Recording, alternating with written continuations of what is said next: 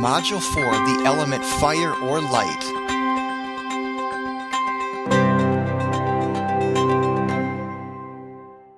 We know today that man is essentially a being of light, and the modern science of photobiology is presently proving this. Light has always been synonymous with beauty, goodness, cheerfulness, and health. We talk about a healthy glow, how someone is full of light, radiant with beauty, light-hearted. We tell people to lighten up, or you light up my life. In this video, we'll mainly be looking at light for health and healing purposes. In fact, light has been used for medicine for thousands of years. The ancient Egyptians, Romans, Greeks, and other major cultures made significant uses of light in therapy. So what is light? Something so simple is actually very, very complex. When we think of light, we typically think of visible light, which is 400 to 700 nanometers. But the electromagnetic spectrum is much, much, much wider than this. We're only seeing a little tiny sliver of light that's coming from the sun. Light itself is made of incredibly small, tiny, massless particles called quanta or photons. They travel like waves, but interact with matter like particles and actually carry energy, momentum, and information. So let's look at light and how it pertains to life on Earth. Albert Szent-Györgyi, Nobel Prize winner and discoverer of vitamin C, recognized how profoundly important light and color was for us, and from his work he concluded all the energy that we take into our bodies is derived from the sun. He saw that through the process of photosynthesis, the sun's energy is stored in plants, which in turn is eaten by animals and humans, and the digestion and assimilation by animals and humans are concerned with the breaking down, transferring, storing, and utilizing this light created energy from the sun. So let's look at light as a multi vitamin. That's going to be one of the themes of this video is that we need light as an essential element of health, just like we need food, water, oxygen, sleep, and the other essential elements, PEMF, that I've talked about in my book. As a multivitamin, we mainly need the frequencies that are coming from the sun. And it turns out the peak frequencies are the visible light spectrum, infrared, which accounts for 51%, visible is 47%, and UV, which is about 2%. So now we're going to kind of look at the human body as a photocell. This being of light that we are is able to receive light and actually create energy from light, not just by eating food, but we'll see in a minute through human photosynthesis. Now we eat food with our mouth, but we take in light mainly through our eyes and our skin. So we're going to kind of look at the eyes and the skin in this video. Let's start with the eyes. Have you ever noticed when you meet someone how much their eyes reveal? They have light in their eyes or sometimes sadness, happiness. You know, there's a lot you can see from someone's eyes. And the interesting thing, eyesight, which we won't get into in this video, is a very complex process, but there's much more to light in the eyes than just eyesight. In fact, back in the 1970s, it was discovered that light basically regulates and relays information to the rest of your body through the nervous system and the endocrine system. In fact, we'll see also the communications through biophotons are also mediated by light. Besides the eyes, the skin also has light receptors, and this is a whole science called dermal optics. Now, looking at the eyes as the window of the soul, and it really is, as Shakespeare said, but the eyes are also the mirrors of the body, meaning the science of iridology, look at these charts here, the whole body is encoded in the iris. When you're out getting full spectrum light, you can think that your eyes are energizing all your organs. Now, what about light as an energy source? We saw in the last video on water, as Dr. Jerry Pollack found, that infrared and light can cause charge separation and create energy in the body. So we're going to take it a step further here, in that we're going to talk about human photosynthesis, which Dr. Herrera is one of the pioneers in this field. Dr. Herrera and his team, that up to 33% of the energy in our body comes from light. And the major players are melanin, especially hemoglobin. You can see this picture here. Hemoglobin and chlorophyll in plants actually look almost identical. And melanin, unlike chlorophyll, absorbs all the energies from the whole electromagnetic spectrum, where chlorophyll mainly absorbs the visible light. So this is a very, very broad topic, and we don't have time to get into it in detail in this video, but just try to start seeing the body as a photocell that can actually photosynthesize and extract energy from light. Nobel Prize nominee Fritz Popp describes the biofield we talked about in video one in different terms. He uses the idea of biophotons and this biophotonic field of energy and information to basically describe the biofield. The main sort of antenna of the biophotons is DNA and RNA, but other very large macromolecules can also send and receive light. So think of the body as a holographic field of energy and information, very dynamic and evolutionary and responds to the environment. So it's not like a static hologram, but this field of energy and information is mainly a biophotonic field of light. We literally are bodies of light. Now, how can we charge our body biofield, this body of light? Well, first is sunlight. It's called heliotherapy. And something as pleasurable as sunbathing, there must be something to that why it feels so good. And heliotherapy, as we mentioned, goes way back to the ancient Greeks and Egyptians, but there's a lot of good modern day research to show that sunlight is a multivitamin, that it does give your body energy, as we saw with photosynthesis and creating energy in the body, but there's many, many other benefits that light provides, just kind of looking at it from a more physiological perspective. So some of the benefits, these are all research proven. When you get out in the sun, it helps with skin disorders, seasonal affective disorder, which we'll talk about in a little bit, reducing body odor. It's been shown to lower cholesterol and blood pressure, and there's really good studies on that. It helps to lower blood sugar and helps with diabetics. It helps to boost the immune system. It helps to reduce bacteria and infections, helps with DNA repair, helps with relaxation. Many, many other benefits from sunbathing. Now, there's some energetic properties, kind of looking at it from this more energy medicine perspective, is that sunlight therapy has been shown to increase oxygenation. One study found that sunlight increases both oxygen content of human blood and its ability to deliver oxygen to the cells, just like PEMF therapy does. Sunlight creates EZ water, as we've talked about in the last video. Um, increases ATP production, which is the direct currency of energy. Increases biophotons and life energy through the meridians and the subtle energy pathways. Improves hormones, as we'll see, melatonin, HGH, sex hormones, serotonin, and more. Enhances enzyme activities. So again, remember we talked about enzymes and hormones being little physical manifestations of the biofield and life energy.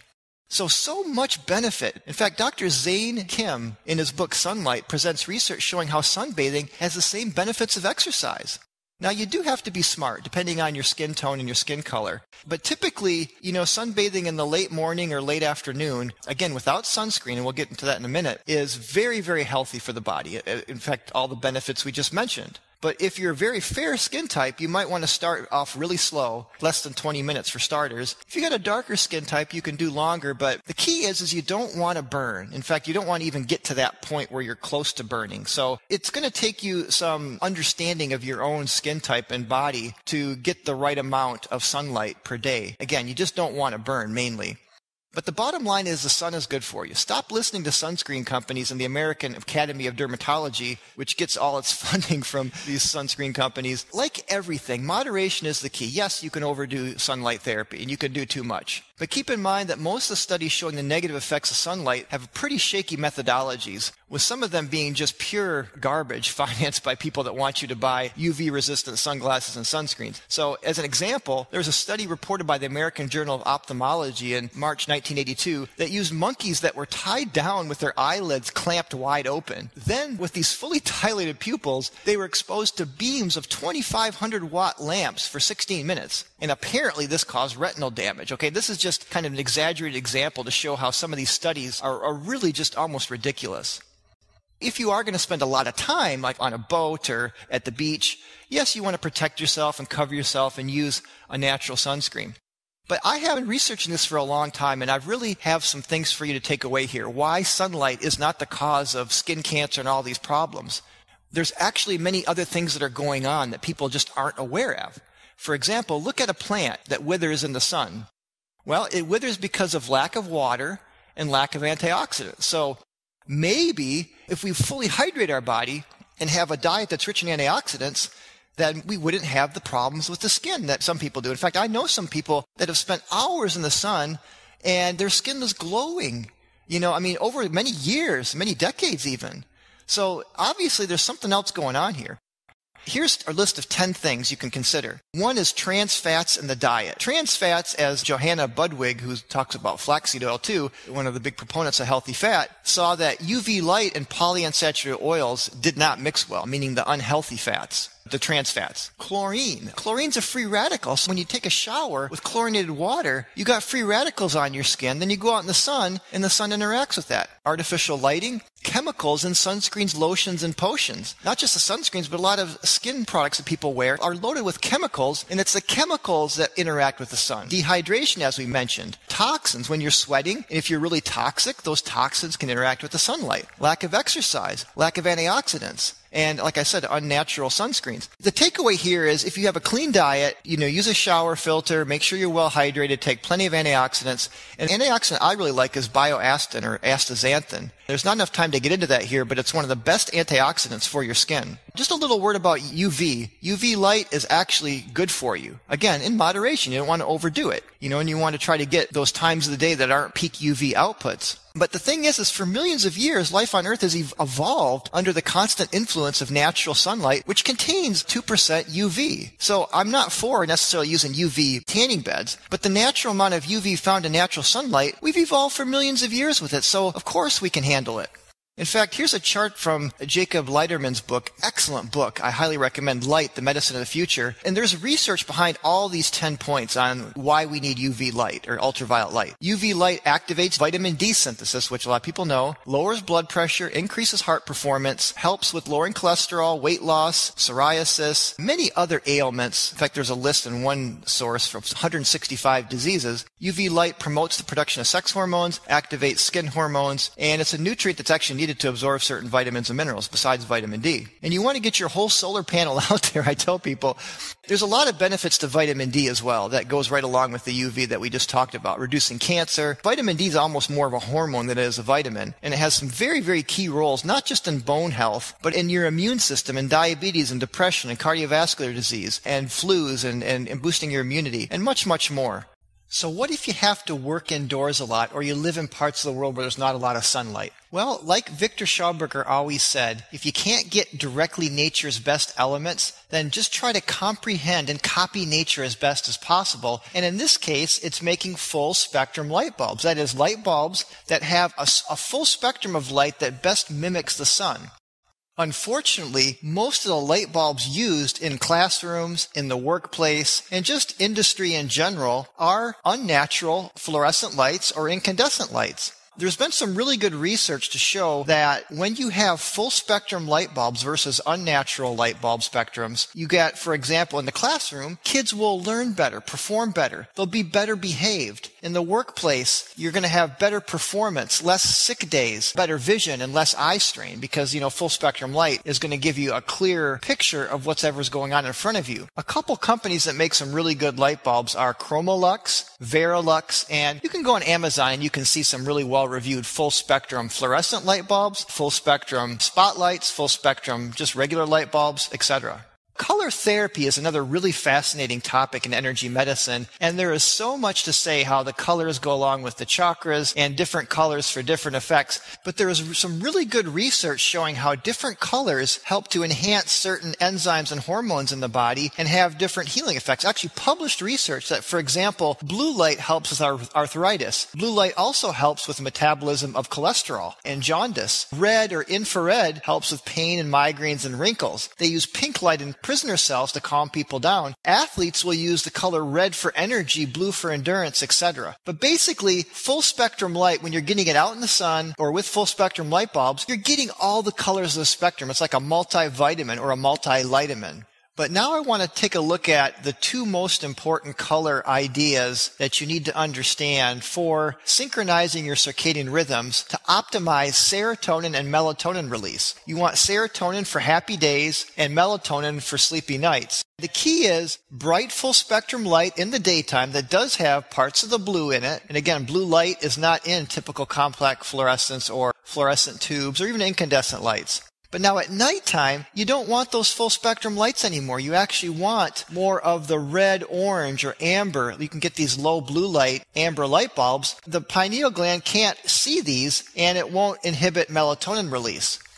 And that brings us to melatonin and the light cycles. Melatonin is secreted by your pineal gland. There is just so much benefits to melatonin besides just a good night's sleep. It's anti-aging, it boosts the immune system, helps with migraines, it's anti-cancer, antidepressive, all these benefits. This is so, so important because melatonin not only puts your body to sleep, but it also puts cancer to sleep. Some strategies and tips that are very practical here to maximize your melatonin release is to get that bright full spectrum light during the day And at nighttime, at least within a couple hours before bed, try to use really dim lights. If you can get those amber lights, I like lowbluelights.com. They got some really great products. It really is important the last two hours before bedtime to do your best to really minimize bright light. Things you can do, you can meditate, you can read with an amber light, you can take a hot bath. You just do some things to kind of wind down besides looking at your computer, your iPhone, or your iPad, or watching TV. Now, if you're going to watch TV, just make sure you got those blue blocker goggles on. So now that brings us to infrared. We've talked about full spectrum visible light. We've talked about UV. 51% of the light from the sun now is infrared. Infrared light kind of gives us warmth. I want to talk about infrared in terms of detox and infrared therapy because one of the greatest tools for detox, in my opinion, along with PEMF therapy and drinking plenty of water, as we talked about, and a good diet, is sauna therapy or infrared therapy. Now, when it comes to detox, there's two parts to skin because we should lose about a pound of waste through our skin every day if our skin is healthy. One part of it is, you know, using a skin brush to get rid of dead skin cells, and then the other part is sweating to help to actually remove the toxins. This is so important important because there's so much pollution in our environment. In the food we eat, the air we breathe, the water we drink, the soil's contaminated with pesticides, herbicides, fungicides. By using PEMF therapy, a good diet, drinking plenty of clean water, along with sauna therapy, you can really help to flush all these toxins out of your body. So thanks for listening. There's a lot to say about fire, light, and detox and sauna therapy and light therapy. So check out energymedicine.com in the fire section. I have a lot of resources, tools, recommendations that I just wasn't able to fit into this video. Thanks for listening and we'll see you on the next video on air, oxygen, deep breathing, oxygen therapy. It'll be really exciting.